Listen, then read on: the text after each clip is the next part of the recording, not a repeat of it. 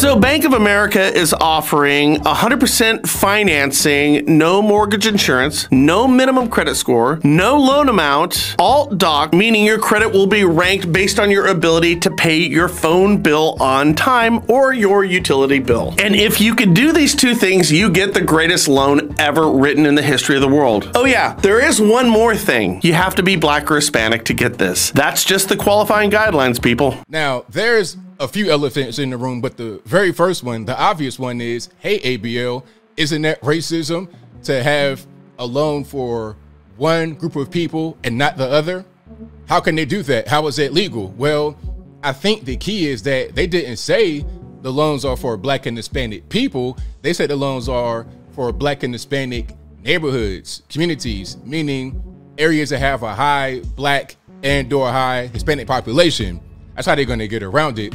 Bank of America Corporation started a trial program aimed at helping first time homebuyers in black and Hispanic neighborhoods by offering mortgages that don't require down payments, closing costs, or minimum credit scores. All considered long-time obstacles to narrowing the gap between white and minority ownership. Customers using the program will be evaluated for a home loan not by credit scores, but rather other factors such as their history of making rent, utility, phone, and auto insurance payments on time, says B of A in a statement on Tuesday. The program will be tested in certain predominantly black and Hispanic areas of Dallas, Detroit, Los Angeles, Miami, and Charlotte, North Carolina. But Bank of America would not disclose the planned size of the program, which may be expanded later to other cities. You've got to be kidding me on this one. Not to mention, this is the worst idea in the history of mortgage underwriting ever. Why? Because these loans are going to fail. We know this before we even write the loans, and yet we're still going to write these loans. Don't listen to me. Listen to the Urban Institute and see what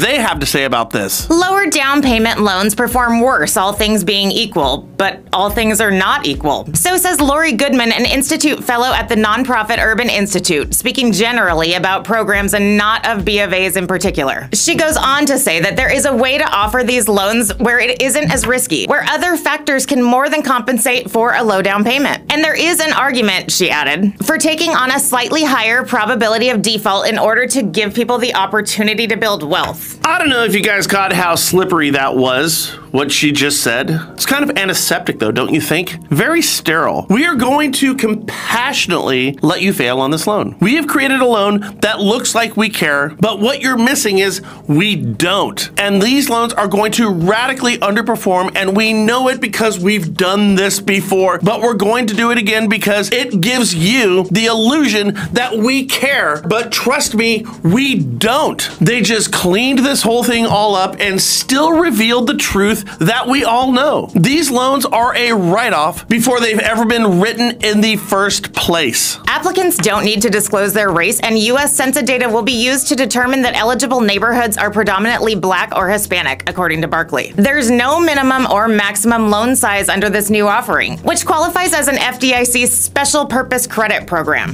Have we not learned our lesson before? This sounds like 2008 all over again. All right, so let's just talk about this. It's a no down payment, no loan limit, no qualifying, no DTI. It is the new Nina subprime loan that Bank of America is coming out with. It's the no income, no asset loan offering by Bank of America. Bravo. Bravo.